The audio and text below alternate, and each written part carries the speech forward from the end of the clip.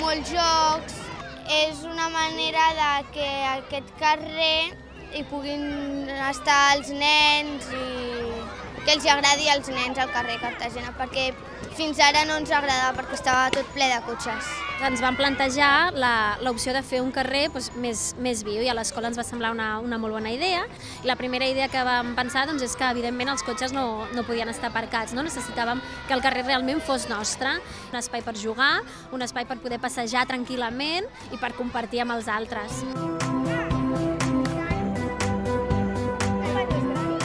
Estem estudiant quan mesura el carrer, quina alçada té, l'ample que és, quantes papereres té, quants arbres, quants bancs, per pensar si podem fer alguna cosa aquí al carrer, canviar el carrer.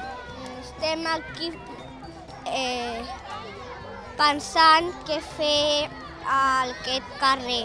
Un tobogan, una caseta de fusta, un hort gran, columpis, tirolines, com un parc per l'escola.